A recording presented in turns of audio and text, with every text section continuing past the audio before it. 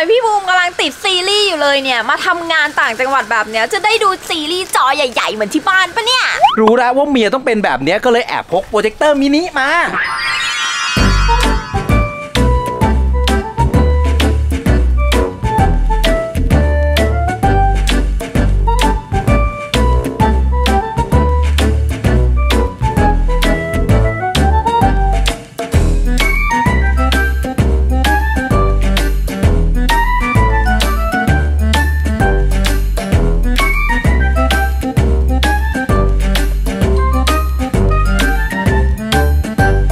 สวัสดีครับ ทุกคนอยู่ในช่อง T3B ครับ และนี่ก็คือช่วง T3B รีวิวอะไรที่ผมซื้อมาใช้เอง ถูกคุ้มและดีจะมารีวิวไว้ช่วงนี้นะครับ พอดีวันนี้ผมเดินทางมาต่างจังหวัดนะ แล้วก็มาพักโรงแรมระหว่างเดินทางนะครับ ซึ่งเราก็เลี่ยงไม่ได้นะครับว่าอุปกรณ์ที่มาใช้ต่างๆ ในโรงแรมเนี่ยมันอาจจะไม่ถูกใจเรานะครับ อย่างทุกวันนี้ผมดูโปรเจคเตอร์จนติดนะครับเวลาดูทีวีจอเล็กๆเนี่ยเวลาอ่านซับไตเติลหรือเวลาดูตัวหนังสือเนี่ยมันมองไม่เห็นจริง ๆ ครับก็คนมันแก่แล้วครับอายุเยอะสายตาไม่ดี แล้วเมื่อกี้พอดีเพิ่งเห็นเลยนะครับว่าข้างล่างอะระบบทีวีของโรงแรมเนี่ยมีปัญหาพอดีครับ โชคดีครับ วันนี้เราติดโปรเจคเตอร์มาเอง แล้ววันนี้ผมจะมารีวิวโปรเจคเตอร์ขนาดพกพาจาก Wanbo T2R Max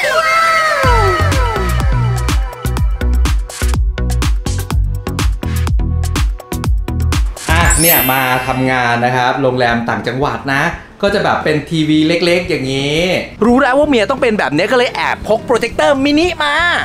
โอเคครับ เดี๋ยวเรามาแกะกล่องดูกันเลยครับ แกะกล่องออกมานะครับ เป็นโปรเจคเตอร์ขนาดมินิจริง ๆ นะครับ ตัวเล็กพกพาง่ายครับ มาพร้อมกับรีโมทนะครับ แล้วก็ตัวอะแดปเตอร์สำหรับชาร์จครับ มีคู่มือมาให้นะครับ พร้อมรับประกันจาก Wanbo 1 ปีเต็มครับ มาดูที่ตัวโปรเจคเตอร์กันบ้างนะครับ ตัวนี้เป็นรุ่นที่2 ARM Max ครับออกแบบคล้ายๆลำโพงทรงเรโทรสมัยโบราณนะครับ ซึ่งดูน่ารักมากๆครับ ตัวเลนส์เนี่ยเป็นเลนส์แก้วนะครับ มาพร้อมกับลำโพงขนาด 3 วัตต์ 2 ตัว ด้านหลังเนี่ยมีช่องเสียบ USB และ HDMI รวมถึงช่องเสียบหูฟังด้วยครับ ความละเอียดของภาพเนี่ยเป็นแบบ Full HD ครับ สามารถถอดรหัส 4K ด้วยเทคโนโลยี HDR10 ทำให้ภาพมีความละเอียดคมชัดและเป็นธรรมชาติครับ ซึ่งใช้ชิปทีวี MTK 9269 บอกลาเรื่องอาการ delay ไปได้เลยครับ แถมตัวนี้มาพร้อมกับ Android เวอร์ชัน9.0 ครับ มี Netflix แล้วก็ YouTube ในตัว แถมยังมีแอปดูหนังที่ได้รับความนิยมอื่นๆอีกนะ รองรับการติดตั้ง APK ทำให้สามารถดาวน์โหลดแอปพลิเคชันต่างๆ ได้ง่ายมากขึ้น มาต่างจังหวัดจะใช้วิธีเชื่อมต่ออินเทอร์เน็ตจากโทรศัพท์มือถือหรือใช้วิธี cast หน้าจอก็ได้นะครับและอยากจะบอกว่าตัดปัญหาเรื่องการพกพาไปเลยนะครับ เพราะว่าตัวนี้น้ำหนักเบามากๆครับ ตัวเล็กใส่กระเป๋าเดินทางได้ไม่เกะกะไม่กินเนื้อที่ การปรับโฟกัสเนี่ยตัวนี้จะเป็นการปรับแบบ manual ครับ ซึ่งจริง ๆ แล้วผมชอบนะครับทุกคนเพราะว่าแม่นยำมากๆ การวางเครื่องโปรเจคเตอร์เนี่ยสามารถวางไว้ด้านข้างห้องได้ครับ เพราะเราสามารถปรับการแสดงผลแบบคางหมูด้วยตัวเองแบบ manual อย่างแม่นยำครับ ทีนี้อยากให้ดูนะครับว่าพอฉายเข้าไปบนกำแพงเนี่ยก็ได้จอใหญ่ทีเดียวเลยครับแต่ว่าห้องของผมเนี่ยกำแพงไม่ได้ขาวทั้งห้องนะคือเทียบกับคุณกล้วยครับโอ้โหนี่คือจอแบบจอหนังใหญ่มากอะดูดิโอ้โหโอเคครับตอนนี้นะครับผมก็ ลองฉายโปรเจคเตอร์ออกมาดูนะครับอ่าตอนนี้ผมฉายขึ้นเพดานห้องพักของผมนะครับ ซึ่งภาพออกมาเนี่ยคมชัดมากๆครับ คือดูนะครับนี่ผมไม่ได้ใช้จออะไรนะ ผมฉายไปบนผนังสีขาวธรรมดาเลย ทุกคนครับถ้าเกิดห้องมืดๆมันก็สว่างครับทีนี้ผมจะลองเปิดม่านดูนะ ซึ่งพอเปิดม่านนะครับ ผมก็ถือว่าโปรเจคเตอร์ตัวนี้สู้แสงใช้ได้เลยครับ อันนี้คือเปิดม่านแล้วนะฮะนี่ก็เป็นครั้งแรกที่ผมใช้งานนะครับ เพราะฉะนั้นเราจะมา ดูการเชื่อมต่อกันก่อนนะครับ ก็อย่างแรกนะครับผมเข้ามาตั้งค่า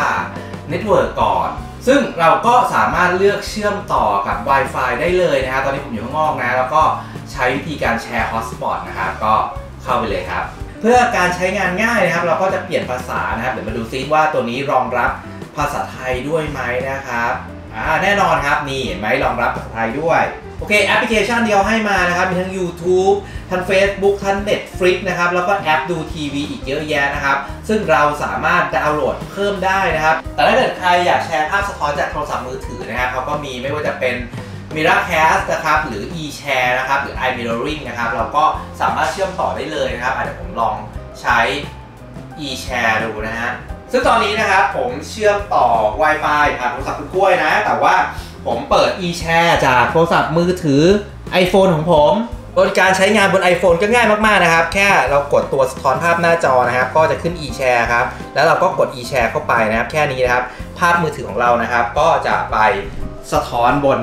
หน้าจอแบบนี้เรียบร้อยเลยครับ เวลาที่ภาพจาก YouTube บนมือถือแสดงขึ้นหน้าจอเนี่ย หน้าจอก็จะอยู่นิ่งๆแบบนี้นะครับ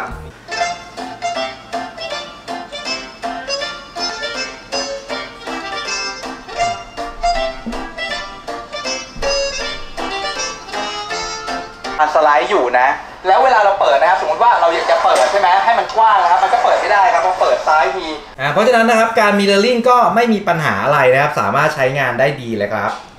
ตอนนี้นะครับผมกำลังติด Disney Plus อยู่นะครับอ่าเพราะฉะนั้นก็เดี๋ยวจะขออนุญาตใช้ Disney Plus เปิดให้ดูแล้วกันนะ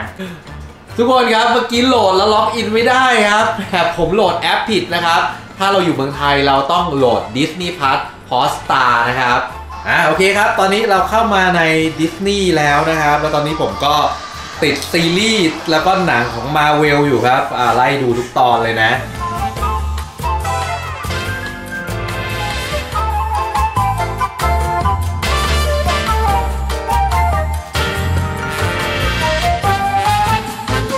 จอใหญ่ ๆ กันบ้างนะครับ อ่า จอใหญ่ ๆ ก็จะเห็นแบบนี้นะครับ นี่คือใหญ่เต็มห้องนะครับ สังเกตนะครับว่าเตียงในห้องผมเนี่ยจะเป็นเตียงขนาดประมาณ 2 เมตรนะครับ แล้วก็ดูที่จอนะครับตอนนี้จอก็ประมาณ 3 เมตรกว่าครับ โหใหญ่ครับห้องไปเลยฮะคมชัดมากครับ แล้วก็เวลาดูนี่นะสบายตาสุดๆไปเลย ทีนี้เราก็นั่งดูนอนดูหนังสบายๆยาวๆกันไปเลยครับ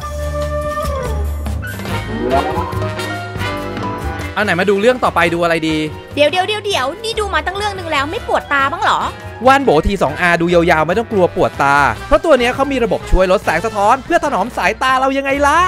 งั้นอย่างนี้หนูขอดูการ์ตูนยาวๆเลยนะครับ อยากให้เพื่อนๆดูนะครับ ปกติฟังก์ชันเนี้ยจะอยู่ในโปรเจคเตอร์ high-end นะครับ นั่นก็คือเราวางโปรเจคเตอร์ไว้ด้านข้างครับ แล้วโปรเจคเตอร์เนี่ยสามารถปรับให้ตรงได้นะครับ ซึ่งตอนเนี้ยผมยังไม่ได้ปรับนะ เพื่อนๆจะเห็นว่าภาพบนจอเนี่ยมันดูเอียงๆเบี้ยวๆครับ ทีนี้เราก็มาที่ตั้งค่านะครับ แล้วกดที่โปรเจคเตอร์ครับเข้ามาในตัวเครื่องนะครับจะสามารถปรับทับริซอยนะครับหรือว่าเหลี่ยมคางหมูได้นะครับ ซึ่งเราจะเลือกเป็น 4 point ก็ได้นะครับ แต่ว่าวันนี้ผมเลือกเป็นปรับแบบ simple นะครับ ซึ่ง